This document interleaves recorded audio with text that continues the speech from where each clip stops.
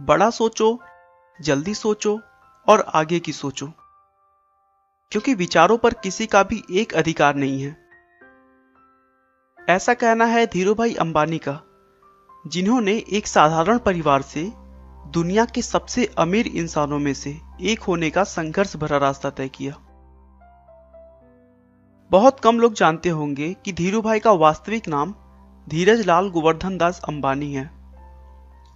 धीरूभाई का जन्म 28 दिसंबर 1932 को गुजरात के चोरवाड़ गाँव में हुआ था। हाई स्कूल में ही उन्होंने पढ़ाई छोड़ दी और उसके बाद पकौड़े बेचना शुरू कर दिया। दोस्तों धीरू भाई का मानना था कि पैसे से पढ़ाई का कोई संबंध नहीं है, क्योंकि यह ज़रूरी नहीं कि दुनिया में एक पढ़ा लिखा इंसान ही पैसे कमा सकता है। कुछ सालों तक घूम घूम कर पकौड़े बेचने के बाद, सन 1948 में 16 साल की उम्र में वे अपने भाई रमणिक लाल की सहायता से अपने एक दोस्त के साथ यमन के एडेन शहर काम करने चले गए। एडेन पहुंचकर उन्होंने पहले पेट्रोल पंप पर काम किया। फिर कुछ दिनों बाद उसी कंपनी में क्लर्कियल पोस्ट पर तीन सौ रुपए प्रति माह के वेतन पर काम करने लगे। वह अपने दिन भर के काम के बाद भी कोई ना कोई पार्ट टाइम काम करते रहते थे, जिससे उनके साथियों में उनके पास सबसे ज़्यादा पैसा था।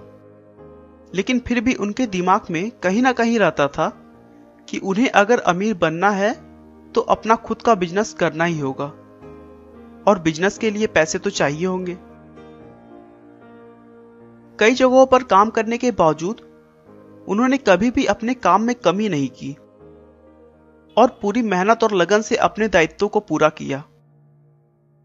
इसीलिए काम से खुश होकर कंपनी के मालिक ने उनका प्रमोशन एक मैनेजर की पद पर कर दिया।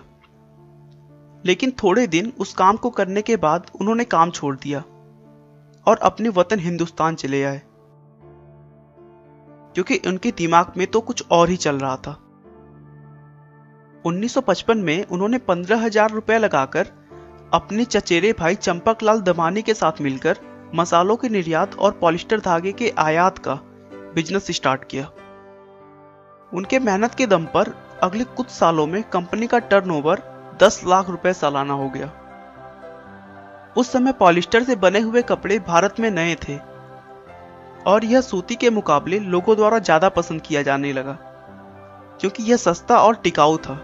और इसमें चमक होने के कारण पुराने होने के बाद भी यह नया जैसा दिखाई देता था।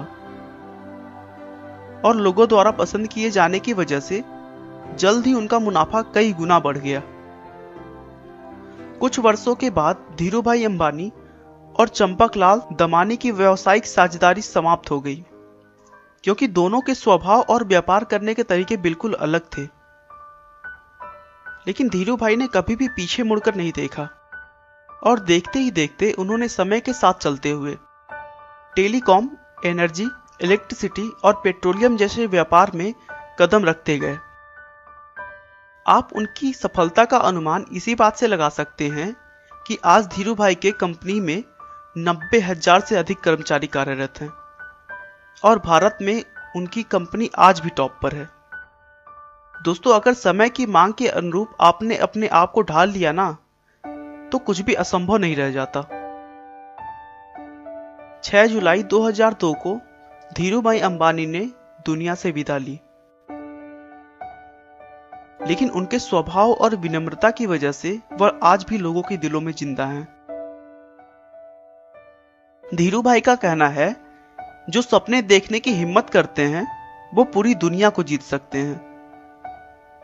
हम दुनिया को साबित कर सकते हैं कि भारत एक सक्षम राष्ट्र है, और हम भारतीयों को प्रतियोगिता से डर नहीं लगता।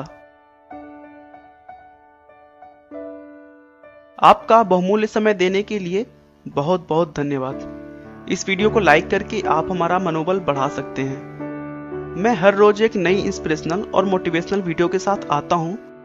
दोस्तों, अगर आप हमारे वीडियो को मिस नहीं करना चाहते तो कृपया चैनल को सब्सक्राइब कर लें। आपको यह कहानी कैसी लगी हमें कमेंट करके ज़रूर बताएँ। धन्यवाद।